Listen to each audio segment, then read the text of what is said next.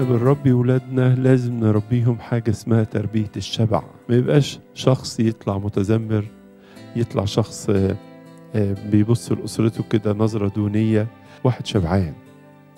والشبع ده مش مرتبط بفقر أو بغنى. يمكن إحنا ولادنا يبقى متوفر عندهم كل حاجة ويرمي الحاجة أو يستهلك نصها أو آه، يبقى عايزها وما يستخدمهاش. ربي البيت في تدبيره الحسن على روح الشبع والقناعة. دايما ربي في البيت على روح البركة. الله يبارك. إحنا من التقاليد القبطية إن إحنا نصلي قبل الأكل ونقول له يا رب بارك هذا الطعام. ولما نخلص طبق الطعام نقول كده يا رب نعمة احفظها من الزوال. ربي ابنك وربي بيتك على إنه يشعر إن في بركة جوه البيت. اتنين يشتروا في نفس اليوم نفس نوع اللبس بلوفر مثلا.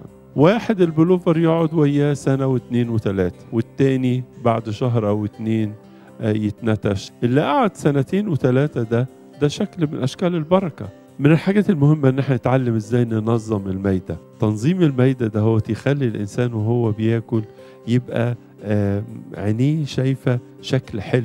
دايما الشيء المنظم مبهج. كنا وإحنا صغيرين لما نقول للكبار أنا شبعت يا بابا أنا شبعت يا ماما. يروح الرد بتاع الكبار يقول لك وأنا فرحت. يعني الشبع ده بيؤدي إلى فرح. إزاي إحنا بنستهلك الطعام؟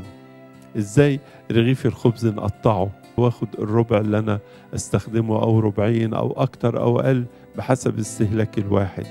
إزاي كمية الرز اللي بتتقدم؟ إزاي تبقى على قد الشخص اللي بياكل وما يترماش منها حاجة؟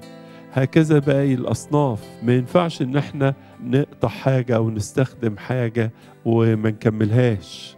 ما يلقى في النفايات. ده طعام يحتاجه آخرين جدا جدا. تدبير المصروف. بنصرف إزاي؟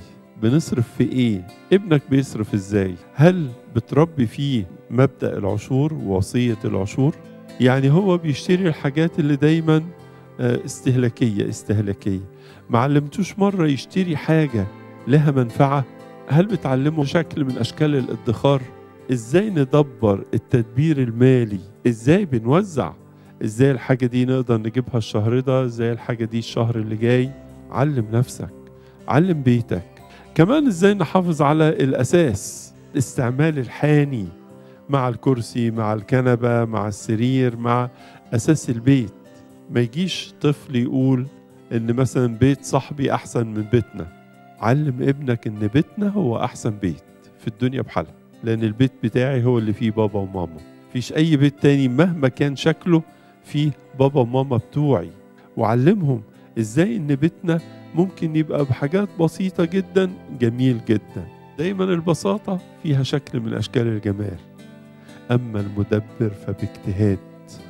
يكون بيت ناجح في الإدارة بتاعته ناجح في تدبيره.